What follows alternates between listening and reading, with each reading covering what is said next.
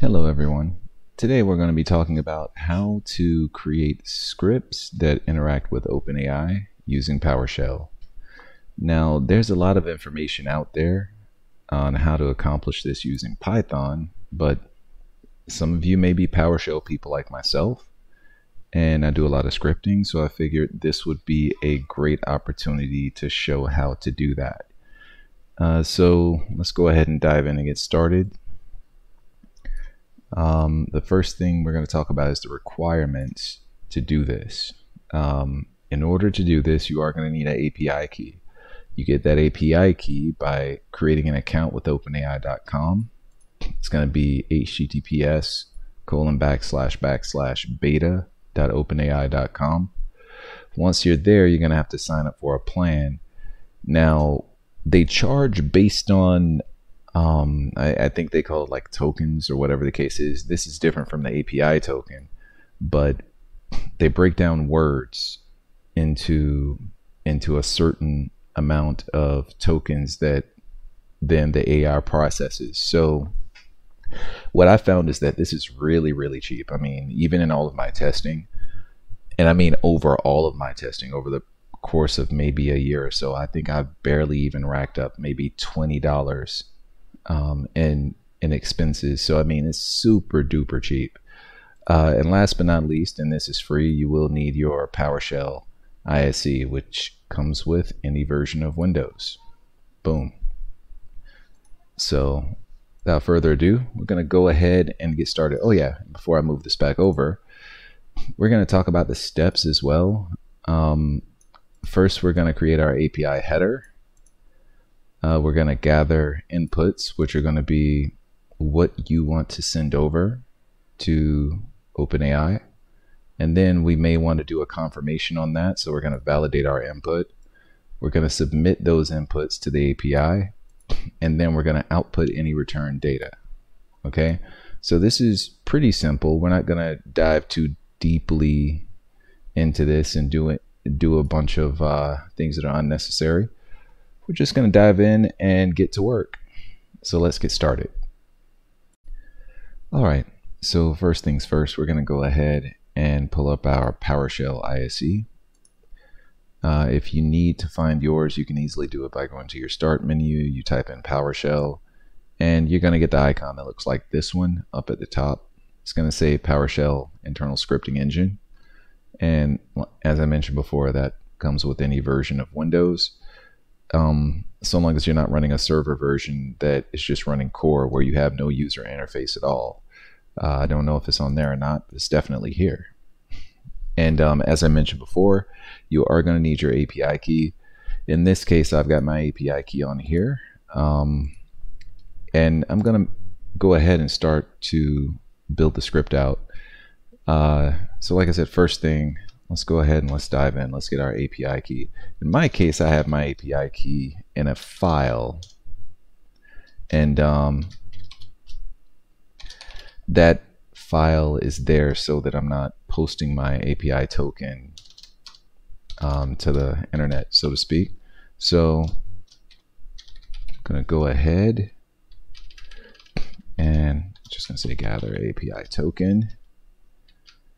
And all right, let's go on down to our next line. I'm going to use something called get content for mine, uh, but just keep in mind. So really all you have to do is just say token, dollar sign token. This is going to create our space to load something into. In this case, we're going to have a string.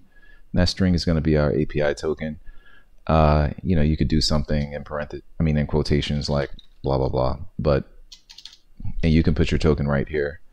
Me, I'm going to grab it from a file. So if you look closely at file structure here, I really just have two things here. Um, I have something, a text file that's called key and key one. I'll use key one as an example just so you can see how this looks.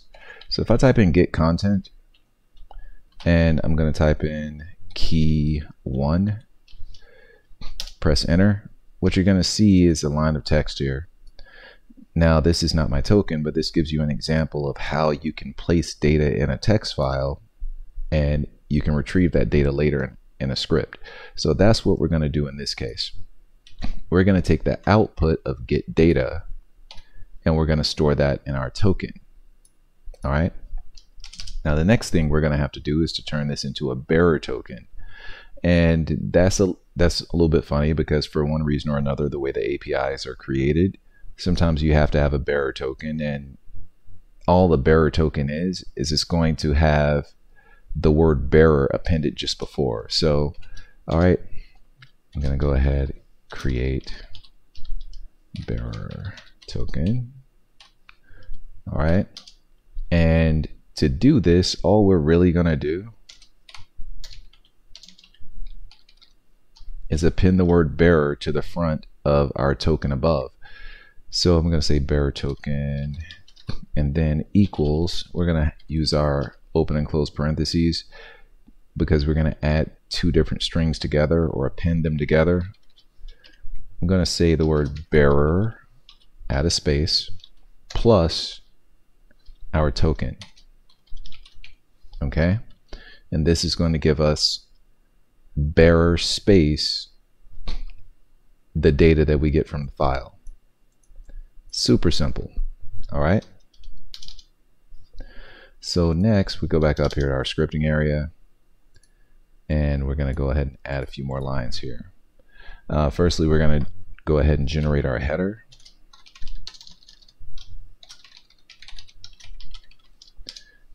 And in this case, I'm going to call it header.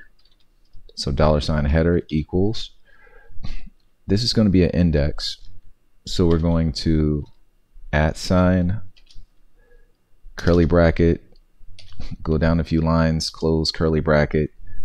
In here, we're going to have two pieces of data. We're going to have an authorization piece of data, which equals our bearer token. So I'm going to put dollar sign bearer token there. Then we're going to go ahead and we're going to need to include our content type. Now, this is um, something that you have to do oftentimes with APIs just to tell it what type of data you're going to be presenting to it.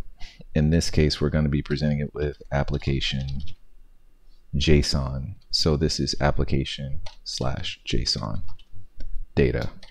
All right. So that's pretty much going to be our header. When you look at it, if we were to run this and then look at our header,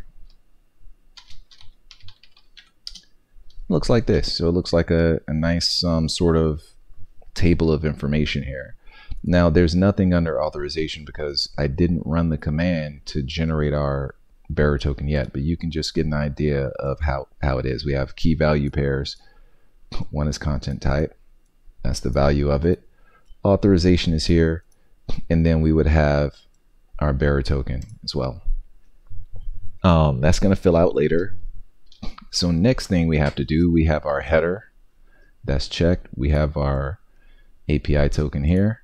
That's checked as well. So we're going to move down and we're going to go to the point where we would typically start to put information in. Um, this is going to be a loop. So first thing we're going to do here is create, it's going to be a, a, a variable here. It's going to be something that enables us to stay inside of a loop for just as long as we need to. We're just going to call it run. So run equals dollar sign true. So it's a Boolean variable, and that means that it's either going to be true or false. I'm just going to add up here.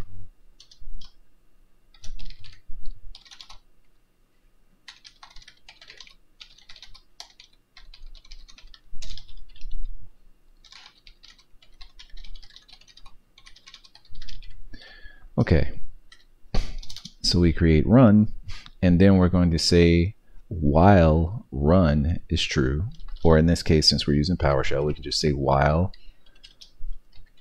run, dollar sign run, we're going to do something within these brackets, okay? So here we go.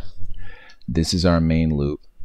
And basically, if you think about what we're trying to do here, we may want to use this script multiple times, right? So why have to keep executing the script over and over again when we can just create a loop that keeps prompting us for more and more information, right? That's why we create this loop. And as soon as we're done, then we can press something and it'll escape the loop and then the script will be finished. So next thing here we're going to do is we're going to pull in a few additional variables. These all need to be initialized at the very beginning. I'm going to go ahead for the sake of time and copy these in. Um, so what we're going to do here is we have our variables and we want to make sure that everything is reinitialized each time we go through this loop.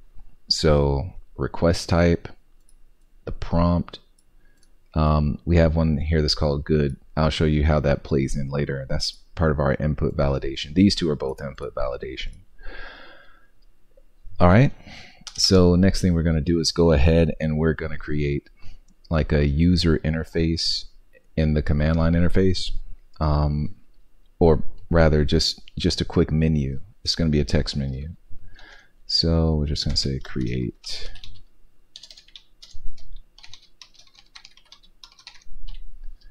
create an issue menu. And on here, first we're going to clear the screen. So we can just type in clear and that'll automatically clear the screen. Just like if we go down here and we type in CLS, short for clear, look, we have a clear screen. That's what this is going to do. All right, then we're going to go ahead and start to write this out. So we're going to do that by typing in write host. Write host is nice, but it only goes to the console. Uh, but there's some nice things you can do in here. We can give it a foreground color, for example. We can make all of this yellow. Makes it stick out a little bit more. Up here, we're going to say, please choose an option below.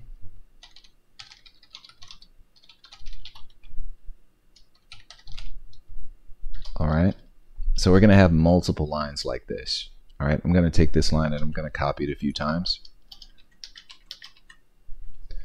We're only really going to have two options. So I'm going to take this one, I'm going to make this an equal sign. It's kind of like a little uh, divider, and we're going to have our first option, which is text completion. Now in OpenAI, you have different APIs that you can use. Um, one uses DaVinci, or at least currently is DaVinci. I mean, of course, they're always making updates. Uh, and that was the OG AI. You could send over requests and things to it, and it would give you information back. Um, this was before ChatGPT and uh, how it can, you know, pretty much operate as if it's a person, at least via text. All right. So first, we have our text completion, and secondly, we're just going to do quit. We'll add additional features later, but for right now, this is this is all we're going to do. So next, I'm going to go ahead and oops, I'm going to copy this line one more time. So when we run these, we're going to have something that looks like this, right? choose an option below, number one, number two, okay? Then we have a divider, and that's it. So after that point, we're gonna have to have a point where we go ahead and we read what the person wants. Now, when we read what the person wants, we're gonna have to use read host. So first we're gonna say request type. If you look up above, this is one of our variables up here, which we set to null each time. So now we're going to say request type equals read host. So instead of writing to the host, we're going to read now. We're going to take input and our prompt is going to be, okay, please enter your choice.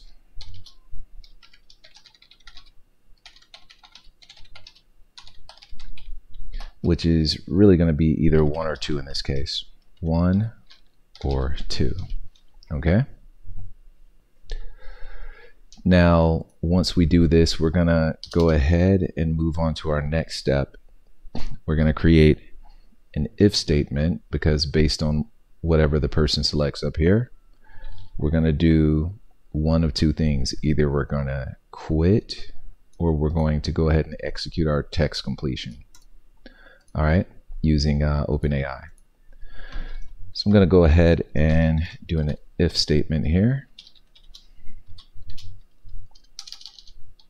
All right. And we're going to say if request type equals dash equals one, then we're going to execute what's in this block. All right. Now in this case, we're going to go ahead and we're going to ask for additional input because you want to do a text completion. That text completion could be anything from what's two plus two to, hey, what are the 50 states in the United States sorted by population? All right. DaVinci is pretty powerful. All right, we're going to go ahead and create our prompt. And actually, we need to create another loop here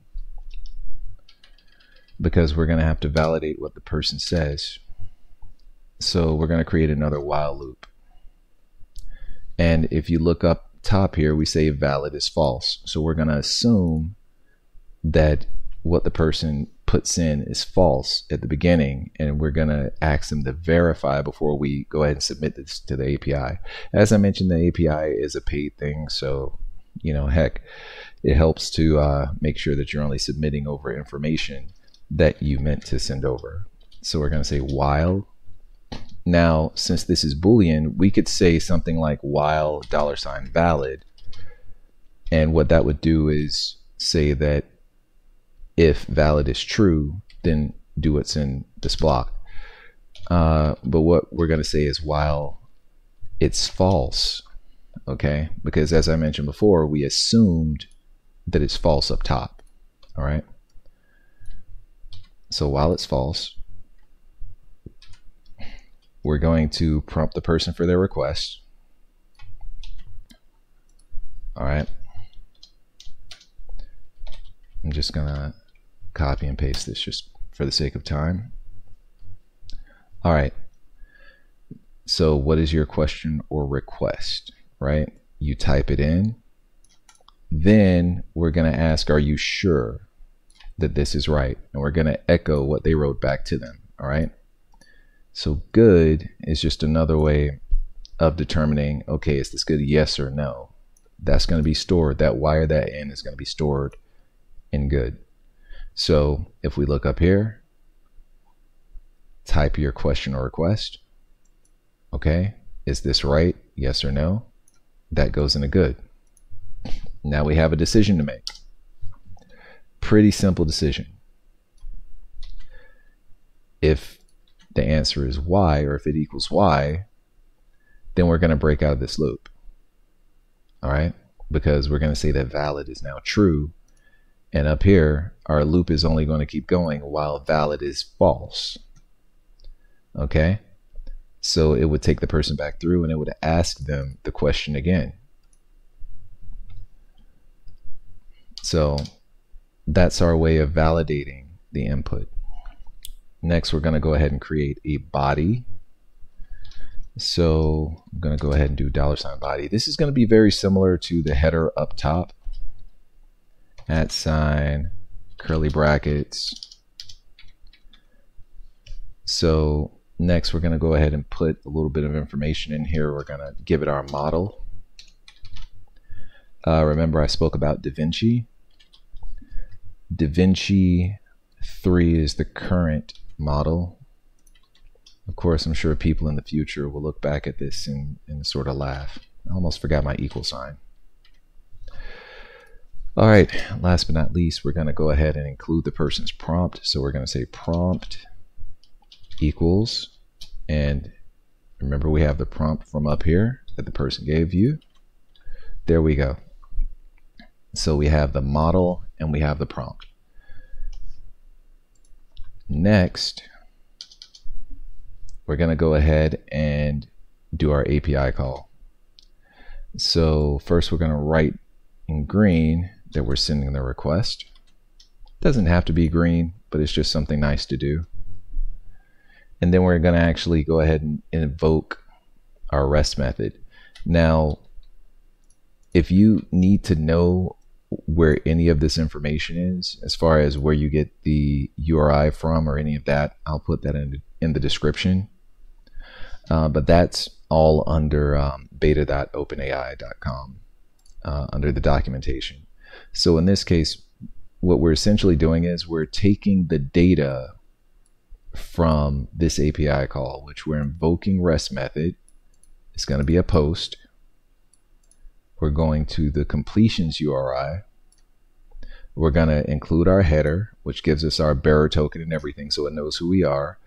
Then we're going to take the body and we're going to take that body and we're going to convert it to JSON. Because if you remember in the header, we said that the data that we're providing is application JSON. So if we come down here, we convert our body to JSON. Okay? So we take our prompt, we submit it over, and it's going to give us something back. And we're taking that as data. We're going to have to parse that. All right. Now, once this is done, because it can take a moment, we'll go ahead and we'll put down that the request completed. There's a chance it could fail. Um, and for the purposes of this script, I'm not going to put in any sort of error handling or anything like that. That would be something that you could put in yourself, but you would do, uh, you would tell it to try. And then if it fails, then you could um, tell it to do something else. But in this case, you know, for this one, it should go through as as long as you're providing the correct model, as long as you have a good API token, shouldn't be any problems. Like I said, we're posting here. It's going to give us something back in the form of data. Okay. So we're going to take this data, we're going to call it output, and what we're going to have to do is massage this information that came back a little bit since it's in a JSON body, we're going to have to go through a few fields and sort of strip it down. So we're going to take it, we're going to start at data. Underneath that, we're going to have choices because it it gives us back a list of possible replies. By default, though, it's one. And that's all we want is just one. All right. Underneath that, we go to text. What I found out is for one reason or another, typically the output starts off with a few returns at the very beginning and I don't want that. So what I'm going to also do is trim here. And what this is going to do is at the very beginning of the string that it replies back, we're going to trim any any preceding returns, okay, because we don't want that. All right. Last but not least, we're going to go ahead and put this output on the screen so that you or whoever can see it, right? So we're going to call this output one. And what we're going to do is take our prompt first and we're going to say prompt, which is what we or the other person typed in. And we're going to say dollar sign prompt. And this is going to give us a readout with a colon of what was first sent to the API. Next, I'm going to put in tilde in, and this is a special character, uh, which basically allows for it, PowerShell reads it as a return. So, and hold on, yeah, that's the right one. So it's sort of tilde in, and it looks at that as a return. All right. So next, we're going to take the same one here, which is dollar sign output, one, and we're going to say plus equals this time. And we're going to say output, which is what the API gave us back and we're going to go ahead and put in our output from above dollar sign output. And that's it. Last but not least we're going to go ahead and we're going to write this out. And it's going to go on the screen. So this is good. Now we're going to go ahead and put down our second condition. Remember, we have two different options. One is text completion, one is quit. All right, so we're going to go down and put in our second one here, which is else if. Oops. Open and close parentheses. So we're going to say else if up above request type instead of equaling 1 if it equals 2, we're going to keep this very short and sweet. Firstly, we're going to go ahead and break the loop. Remember, run is what keeps us in this while loop. So if we no longer want to run this script, we're just going to go ahead and we're going to say run equals dollar sign false. And we're going to go ahead and do a write host and we're just going to say ending script.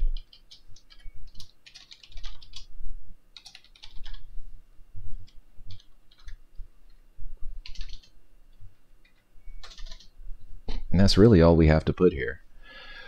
Um, so we're going to go ahead and this is finished. We, we've set this up 61 lines of code. Really, it's less than that because we have some additional returns in here. So we can go ahead and execute this. Give me a moment and we'll go ahead and do our execution.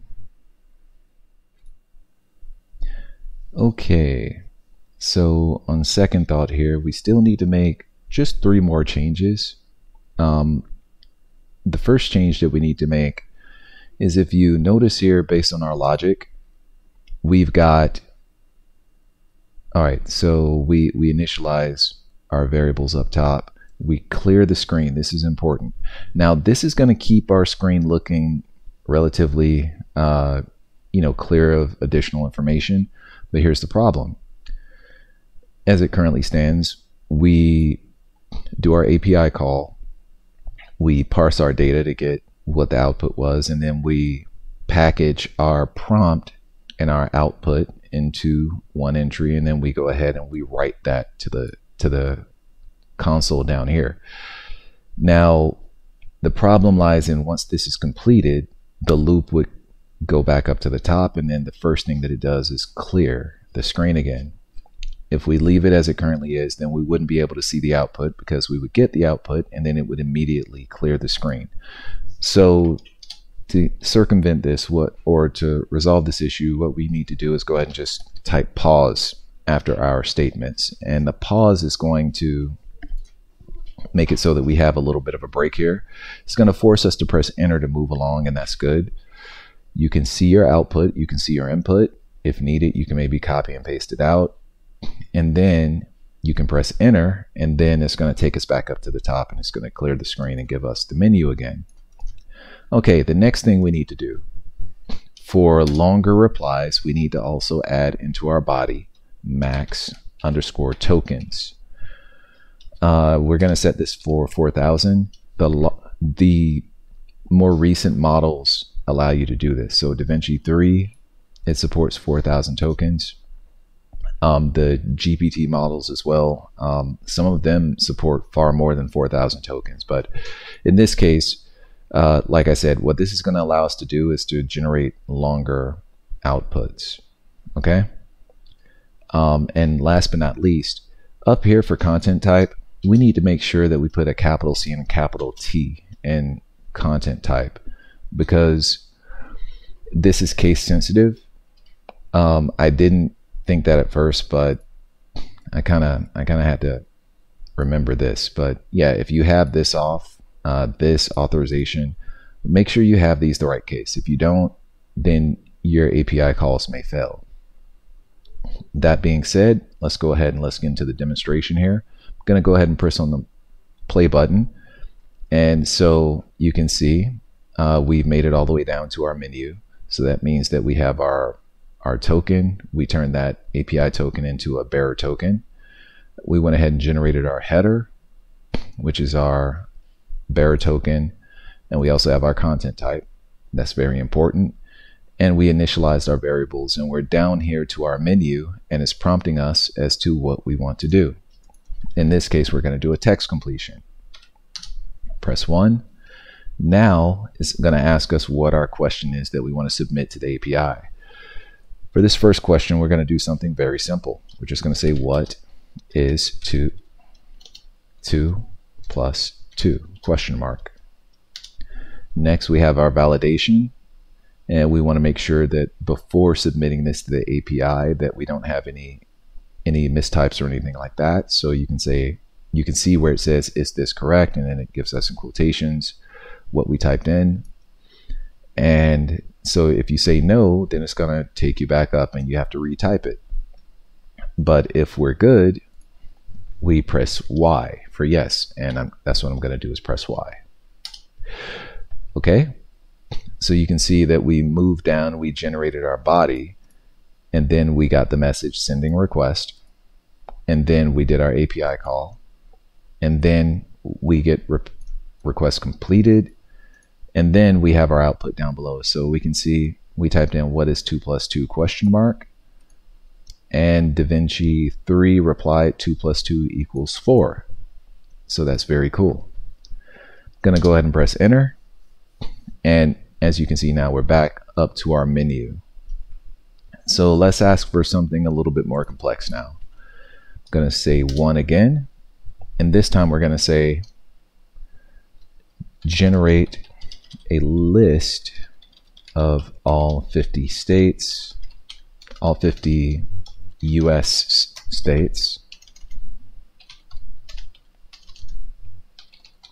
sorted by population. Population. Okay? Is this what we want to send? I'm going to press Y again. Generate a list of all 50 US states sorted by population. Now, it's sending requests, but you can tell this is taking a little bit longer. This is why we needed to have this max 4,000 tokens. Um, you can you can get longer responses here, and it may take it a little while to come back but it'll all right there we go. So see this one went ahead and it came back. Let's scroll back up. So we have our we have our re request completed. Let me expand this area a little bit. And we see our prompt which is what we typed in and then it starts off with California so California Texas Florida New York and it goes all the way down until we hit number 50 Okay. Now, it's important to note that the AI models, at least as it currently stands, are not completely up to date. So if I press enter and you can see we get a little bit of a strange little glitch here. This is just a scripting engine where it, for one reason or another, the first two characters of the lines are white, but the rest are yellow. Uh, but I'm not going to worry about that. That's a, that's a UI glitch. Um, but just to prove the point about how how up to date this data is, we're going to do a basic question. What is today's date? Question mark. Today's date? Question mark. All right. Now what you're going to notice here is that as of today, I'm making this video on April 22nd, 2023, but it currently thinks that the date is October 2nd, 2020. The sample data that was submitted to uh, DaVinci is not completely up to date. Uh, I think it ends in 2021 or at the very end of 2020. So, that being said, you have to keep in mind that any answers it generates are going to have that context behind it. It's not going to be completely up to date and it's not going to know about anything that's prior to that time. That's very important to note. But otherwise, as you can see, it still runs as intended and we can call this a success. Now, the next thing I'm going to do is in a following video, we're going to add additional functionality so that we can do a ChatGPT conversation using a PowerShell script. And we'll just add that as an additional option. So we'll have number one, text completion, uh, number two, ChatGPT, and then number three to quit. And, you know, I hope that you all enjoy this. This, uh, you know, is one of those cool things. Um, scripting is always free. Now, although an OpenAI account is not free, it, like I said, it's, is really, really cheap. I mean, I, I don't think I've racked up even more than, you know, $20 in all the time that I've been using it, and I've been testing it a lot. Uh, but for right now, we're going to go ahead and call this a success. I'm going to press number two. It says ending script. I'm going to press enter and boom, there we go. We're finished. We're out of our script and we were able to successfully perform API calls back to OpenAI and ask it questions and it gave us a response back. So this is really cool. Um, I hope you all had a good time and we'll work on another one very soon.